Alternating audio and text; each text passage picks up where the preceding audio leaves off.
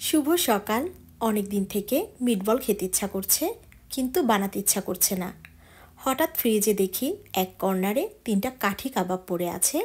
তো এটা দিয়ে আজকে আমি মিটবল বানিয়ে খেয়ে নিব। আসসালামু আলাইকুম, সবাই কেমন আছেন?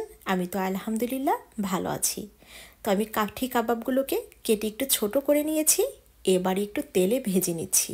মাঝে মাঝে একটু কিন্তু শর্টকাট করাই যায়, তাই না? আমার তাহলে আর কষ্ট করা লাগল না। তো এটা আমি ভেজে নিচ্ছি আর আমি এর সাথে রাইস নুডলসটা তৈরি করে নিব। তো আমার এগুলো ভাজা হয়ে গেছে, এখন তুলে নিচ্ছি। আমি প্যানে একটু তেল দিয়ে নিচ্ছি, তারপরে কিছু পেঁয়াজ দিয়ে ভেজে নিব। আর আমি এই মিটবল তৈরি করতে ইউজ করব। মেরিনারা সস আমি কিন্তু ব্যস্ততার মাঝেও চেষ্টা করি যতটা সম্ভব সব আপুদের বাসায় ঘুরে আসতে। আর আমিও আশা করব তারাও আমার বাড়িতে এসে যেন ঘুরে যায়। তাহলে ভালো লাগে আর কি। তো আমি মেরিনারা সসটা দিয়ে একটু কষিয়ে নিব। দিয়ে দিয়েছিলাম একটু লবণ, চিলি ফ্লেক্স আর ব্ল্যাক পেপার। এবারে আমি সুন্দর করে কষিয়ে নিচ্ছি সসটাকে। একটা সুন্দর স্মেল বের হবে, তখন আমি দিয়ে দিব ভেজে রাখা সেই মিটবলগুলো এখন নেড়ে চেড়ে পরিমাণ মতো পানিটা দিয়ে দেব।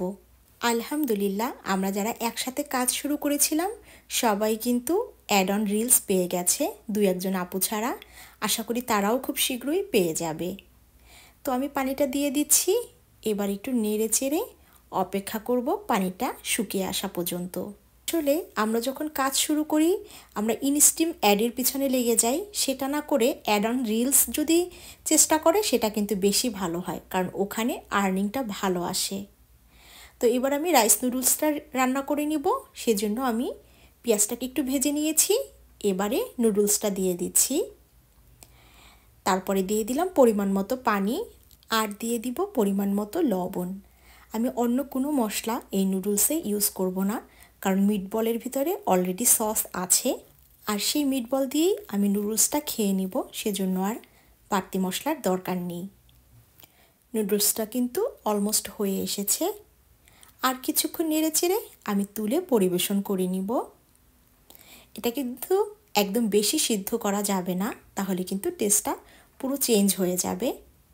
এই তো, এখন আমি পরিবেশন করে নিচ্ছি। অনেক মজা হয়েছিল। আমার হাজব্যান্ড আমার আম্মু বেশ পছন্দ করেছে। শর্টকাট রান্না ছিল, কিন্তু টেস্ট ছিল ফুল তো ভিডিওটি কেমন লাগল অবশ্যই কিন্তু কমেন্ট করে জানাবেন। সবাই ভালো থাকবেন। আজ এ পর্যন্তই। ভালো থাকবেন। আল্লাহ হাফেজ।